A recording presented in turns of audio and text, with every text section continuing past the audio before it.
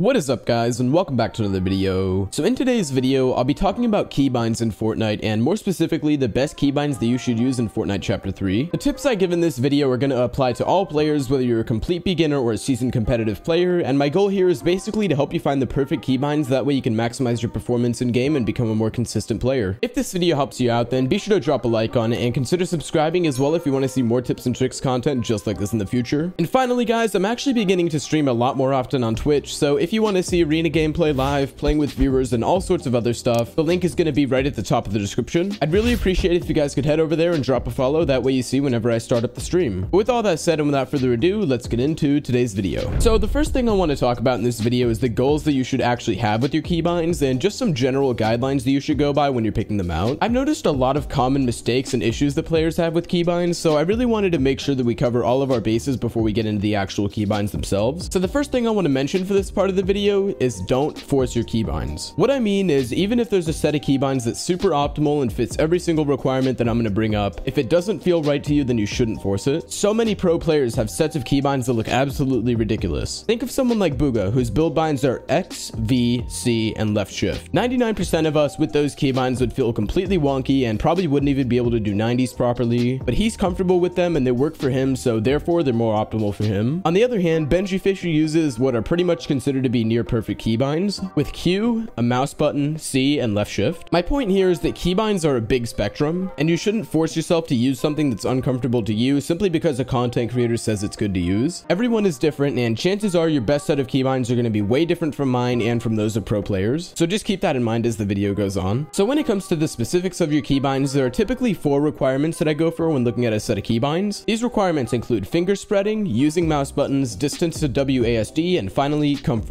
So the first requirement, finger spreading, basically means not overusing one finger. For example, if you have all your binds on your index finger with something like R, F, T, and G, that one finger is going to get super fatigued and your overall speed is going to be drastically limited. As a general rule, when you combine your building binds, trap bind, and edit bind, the best rule is to make sure that no finger is being used more than two times. The second requirement you're going to want to fix is using mouse buttons. This is super simple and basically means making good use of the side buttons and scroll wheel on your mouse. These are some of the easiest to reach and fastest keys that you have, so typically you're going to be best off using them for important actions like building. I do recommend using two mouse buttons for building, adding a scroll wheel reset in one direction, and then either pressing on your scroll wheel or scrolling it the other way for reload, but I'll get into the reload bind later in the video. But overall, it's critical that you use your mouse binds effectively as this can make or break your whole set of keybinds. Third up, when we've got distance to WASD, which is a super simple one, obviously the keys that you use should be close to your WASD binds or whatever binds you use to move. That way they'll be easier to hit and you'll be able to build and edit much faster, pretty simple stuff. And finally, the last requirement for a good set of keybinds is simply comfort, which is something we already discussed briefly. Basically, even if your keybinds are 100% optimal, the perfect set of keybinds, they're only going to be good if you're comfortable with them. So don't be pressured to use quote unquote optimal keybinds unless they feel good to you. Typically, fitting all four of these requirements is absolutely perfect. Hitting three is pretty solid and hitting one or two usually means that you're either an outlier, which is perfectly fine of course, or you might want to explore some other ways to fit the requirements. But if you can't, then of course just do what works best for you. So with that said guys, now that we've gone through all the fundamentals you're going to need to know when it comes to keybinds, now we're going to actually start to get into the juicy stuff, aka the actual keybinds themselves. The sets of keybinds I'm going to go over are going to cover at minimum three of the four bases we've discussed, and some of them should cover all four as well. I'll try to be really inclusive with it and include keybinds that fit multiple playstyles and strategies, that way you're going to have tons of solid options to choose from. So getting into our first set of keybinds, these keybinds are going to be my general choice when it comes to quote unquote optimal binds. The majority of high level players tend to run with keybinds like these, and overall they're just very reliable. These binds include a side mouse button for wall, V for floor, another side mouse button for ramp, left shift for cone, and tab for trap. Finally, you've got E for edit as well. Typically, V for floor is pressed with your thumb, but if you're not comfortable with that, then you could use your index finger for V, or even switch it to an easier index bind like F. Either way, you're still not going over two keys per finger. As well as that, you also have the Q button open for another bind, which is super close to WASD and can be a really useful bind. This set of keybinds fits all the requirements that we discussed earlier on in the video, and I'd say for 60 or 70% of viewers, this is going to be the one you prefer, or at least something very close to it with a few small adjustments based on your preference. So for the next set of keybinds, we're going to be doing a set of binds that mainly emphasizes pure building speed rather than movement. With the first set, your movement binds are usually pretty easy to press, but this set is going to be more of a hardcore fast building and editing type of vibe. So this set of keybinds is going to be side mouse button for wall, F for floor, another side mouse button for ramp, Q for cone, left shift for trap, and finally E for edit. So this set of keybinds is somewhat similar to the first since it has side mouse buttons for wall on ramp, but instead of using V and left shift for other build binds, it uses Q and F, which are a bit faster because they use your ring and index fingers. The only problem is that they do somewhat limit your movement left and right, but if that's a trade-off you're willing to make to potentially build faster, then it might be worth trying out this set. This is actually really close to the keybinds that I use, but mine are just oriented differently. Instead of using my F and Q for floor and cone, I actually have my wall and floor as Q and F respectively, and then I use my side buttons for ramp and cone, E for edit, and V for trap. So if you're curious which of these sets is closest to the binds that I personally use prefer, I'd say that this one would be it. Finally guys, for our last set of keybinds in this video, I know a lot of you guys might be playing on different types of setups, and some of you guys might not have mouse buttons as we discussed earlier, but I didn't want to leave you guys out, so this last set of keybinds is going to be close to optimal while not utilizing any mouse buttons, basically for those of you who just don't have them. These keybinds are going to include Q for wall, V for floor, which you're preferably going to hit with your thumb, then you've got F for ramp, left shift for cone, tab for trap, and finally E for edit. This set of keybinds is pretty darn close to optimal despite not using any mouse buttons, and it also uses E for edit, which as you can probably tell by now is my top recommendation for an edit bind, hence why every single keybind set I've shown has been E for edit. With this set, you can also feel free to reorient the keys if you're uncomfortable with hitting V with your thumb, then maybe you can consider hitting it with your index or switch to something like R if it's more comfortable. Overall though, I think this set should serve you really well if you don't have side buttons on your mouse. And before we wrap up this video guys, I want to talk about a few other binds that you have. For the sake of time, I only covered building, editing, and trap since those are the binds that most people struggle with, but there are a few other binds you're going to want to look at as well. When it comes to weapon slots, my recommendation is super simple. Just do one for pickaxe, then two, three, four, five, six for your weapons. If you have leftover keys that you don't have set to anything and they're close to WASD, then you can also consider switching out your last slot or two, that way you don't have to reach so far for your heal slots. For example, I use C and R for my fourth and fifth weapon instead of five and six, and that really just makes it easier to press and just makes my whole experience a lot better. For reload, I recommend you either scroll your scroll wheel or simply click on it, which is called middle mouse button. It's super easy to reach, but it's a bit harder to use for building compared to your side buttons, so I prefer to use it for an important action that really doesn't require such crazy precision like building does. So basically either scroll your scroll wheel or press it down. For a use bind, aka the bind that you use to pick things up and such, I recommend using one bind close to WASD. Personally, I use G, but you can also add another bind, that way you can hit both and have a higher chance of winning 50-50s, or you could even add a scroll wheel direction to it if you have one open. That way, when you're in a 50-50, you can just scroll your scroll wheel and hope that you get the weapon. Finally, the last binds are going to be map and inventory. Personally, I prefer using a thumb bind for map, which I set as M, and then a close bind for inventory, which is X in my case. But honestly, these are really just going to come down to whatever you've got left. You can use thumb binds like B, N, or M, or you can use leftover binds close to WASD like Z, X, C, or whatever else you may have available. But with all that said, guys, that's going to wrap it up for today's video on the best keybinds to use on keyboard and mouse in chapter 3. If this video helped you out, then be sure to drop a like on it and hit that big red subscribe button if you want to see more. As well as that, if you want to help your boy out a bit extra, then consider using code TECKOH in the Fortnite item shop as it's absolutely free and it really helps your boy out a bunch. If you do use my code to buy something, then send me it over on my Twitter, which is at Teckoh with two H's, or Instagram, which is just at Teckoh, as I'm planning to give shoutouts to some people who use it. Both of those accounts are going to be linked down in the description as well. But with that said, thank you all for watching this video, and I will see you guys in the next one. Bye for now.